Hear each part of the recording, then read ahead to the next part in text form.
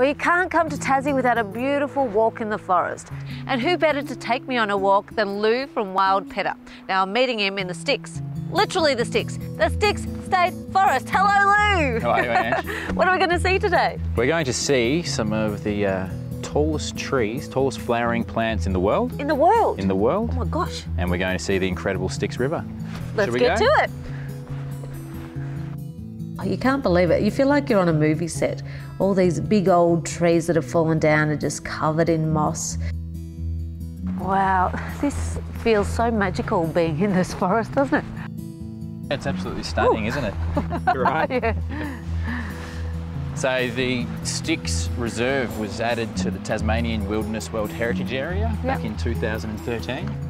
Styx River looks a little brown. Is it still okay to drink? It does. That's just the tannin stain from the native plants. So Right. it's perfectly all right to drink. The legend actually is that one sip will add 10 years to your lifespan. Is that right? That's right. Oh my god. Mm. Just added 30 years to my life. Thanks. Woo, feeling better already. Not just a bushwalk, a Wild Pedder experience is a hands on fact finding tour. Give this one a little mash up in your fingers.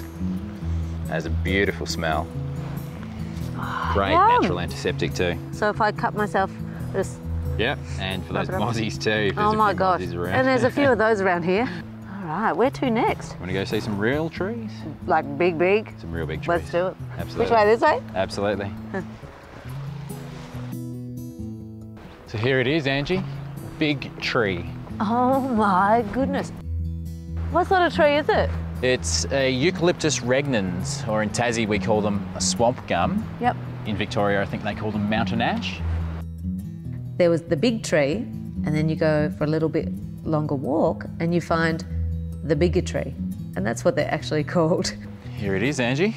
Bigger tree. Bigger tree. Is it actually called bigger tree? It is. Don't tell me there's a biggest tree as well. There isn't. Ah, good.